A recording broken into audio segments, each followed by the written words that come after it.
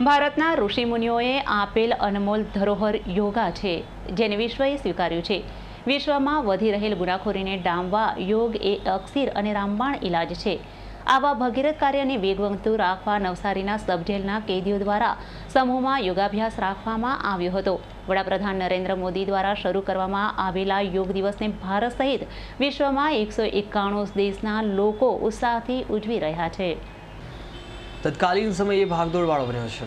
લોકો સવારના ઉઠતાની સાથે કામના બોજા હેઠળ દબાઈ જતા હોય છે અને માનસિક તાણ અનુભવીને મનનો કાબુ ગુમાવી દેતા હોય છે. એના માટે કેન્દ્ર અને રાજ્ય સરકારે યોગ કરવાની અમજાતને સલાહ આપી છે. નવસારી જિલ્લામાં નવસો કેન્દ્રમાં બે લાખથી વધુ લોકોએ યોગનો લાભ લીધો હતો, જેમાં રાજ્યના કેબિનેટ મંત્રી મંગુભાઈ પટેલે યોગની સાધના કરી હતી. ખાસ કરી નવસારી સબજેલના કેદીઓને પણ રાષ્ટ્રીય યોગ શૂરમાં જોડાઈને પોઝિટિવ ઉર્જાનો સંચાર કર્યો હતો.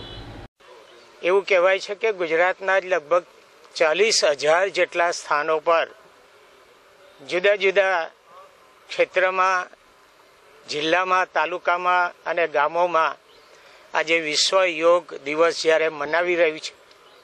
અને ખરેખર કહું તો આ યોગા શરીર માટે કેટલું ઉપયોગી છે. જે આપણને યોગનું વિવરણ કરતા હતા, શરીરને જો સશક્ત રાખવું હોય, તો આ યોગ કેટલા ઉપયોગી છે અને આમ કહેવાય તો આપણા પૂર્વજોએ આ શીખવેલી વસ્તુ છે, પણ ધીરે ધીરે એનો આમ ઓટ આવતી ગઈ છે અને તેવા સમયે વડાપ્રધાન શ્રીએ આખા દુનિયાભરમાં ભારતની જે સંસ્કૃતિ છે, ભારતના પૂર્વજોએ શીખવેલી જે યોગ શક્તિને ફરીથી એક એનો જીર્ણોદ્ધાર કરવાનો જે આખા દુનિયાભરને જે સંદેશ આપ્યો છે. અને દુનિયાભરના લોકોએ જે સ્વીકાર કરીને આજે જે યોગ દિવસની ઉજવણી કરી રહી છે, ખરેખર એક અજાયબી છે. અને એને માટે વડાપ્રધાનના જેટલો આપણે આભાર માનવો હોય તેટલો માની શકાય. હત્યા, લૂંટ, ચોરી છેતરપિંડીના હાલના સમયમાં પૂરેટાટી વધી છે. જેથી મુખ્ય કારણ મનમાં રહેલો મેલ જે ગુનાખોરીને ડામવા માટે માણસને પ્રેરે છે. આવા ખતરનાક વલણો સામે ટકી રહેવા ઋષિમુનિઓએ આપેલા ભેટને જીવનમાં અપનાવી વિશ્વ શાંતિ માટે આગળ આવવું હોય તો ગુનાહિત માનસિકતામાં બદલાવ કરવા માટે જેલમાં રહેલા કેદીઓને યોગ અભ્યાસ કરવાથી પરિવર્તન થઈ રહ્યા હોના દાખલા બહાર આવ્યા છે.